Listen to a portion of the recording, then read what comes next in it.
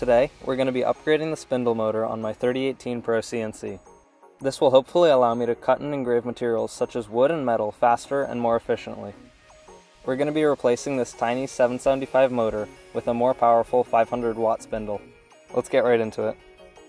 I got this 500 watt spindle motor kit from Banggood for $60. In the box is a variable speed motor controller. We will use this to power the motor because the onboard controller on the CNC is not powerful enough to drive this large motor. The actual spindle motor is packaged very well and surrounded by styrofoam. It comes with this aluminum mounting bracket, but we won't be using it because we need to 3D print a custom mount to fit the CNC. Let's print it right now.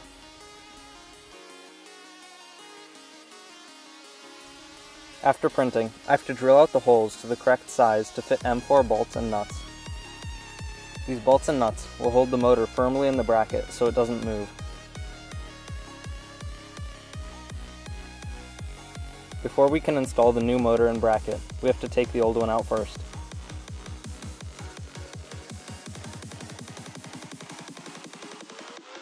This was a little easier said than done as I had to disassemble the entire Z-axis.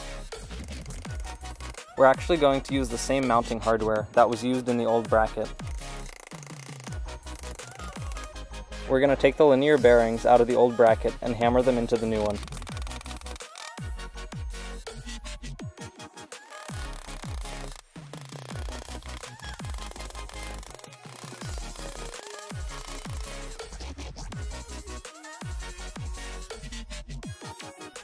With this complete, we can reassemble the Z-axis.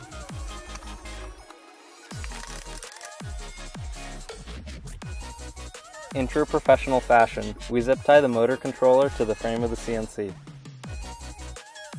All that's left is the wiring for the new spindle motor.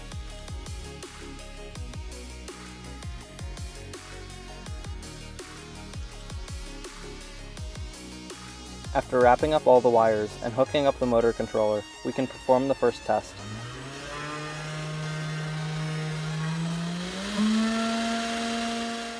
Let's try carving a wooden YouTube play button for my first 25 subscribers.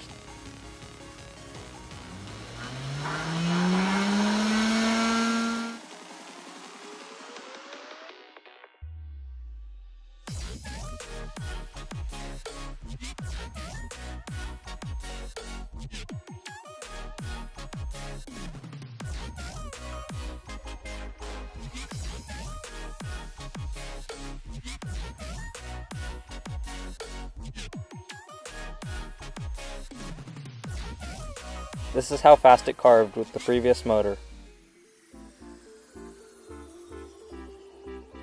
This is how fast it carves now.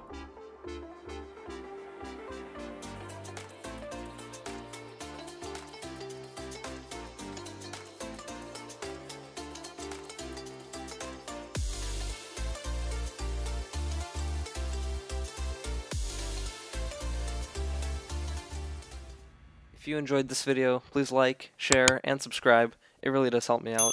Thanks for watching, and I'll catch you in the next video.